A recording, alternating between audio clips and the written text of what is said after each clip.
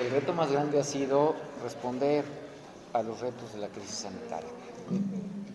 Naturalmente, o sea, ha sido el reto más grande de nuestra generación. No tiene por qué no serlo para la Autónoma de Aguascalientes. Ya aprendimos que sí lo podemos hacer, que sí se puede hacer y que sí funciona, sobre todo en cierto tipo de asignaturas, en cierto tipo de, de carreras. Hace rato mencionaba estomatología, ahí está medio difícil darlo en línea, ¿no?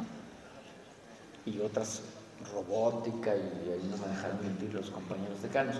Pero ya aprendimos que podemos responder ante una crisis de este tamaño. Se, se perdió en términos de socialización. Sabemos que parte de la formación es socializar, es estar con los compañeros, es llevarse bien, llevarse mal, lo que sea, pero es estar en contacto con los compañeros.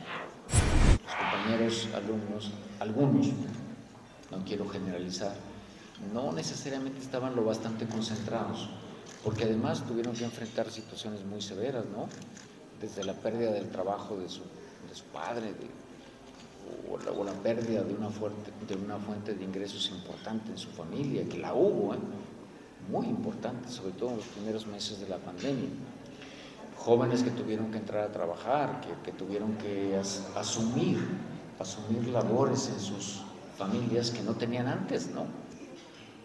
jóvenes que tuvieron pérdidas personales en, en- en sus familias. Y bueno, una de las facturas naturales más importantes es en aquellas asignaturas, en aquellas materias que implican el desarrollo de habilidades. ¿sí? Mm, Difícilmente en línea se aprende a hacer una cirugía. Todos lo sabemos, ¿no? Solo por poner un ejemplo. La universidad está empeñada, tiene todo un programa que acaba de aprobar el Consejo Universitario y algunas cosas más que vamos a proponer el Consejo Universitario para remontar esta situación.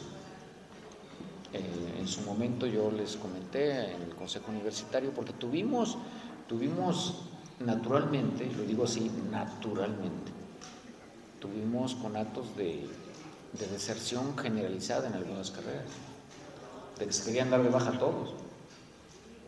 ¿En qué carrera? Estomatología, por ejemplo. A ver cómo le quita usted una muela a alguien por internet. Solo por poner un ejemplo, tuvimos conatos de deserciones masivas de carreras enteras, lo cual hubiera desequilibrado enormemente el desarrollo de esa carrera y el desarrollo de la universidad. Logramos retenerlos.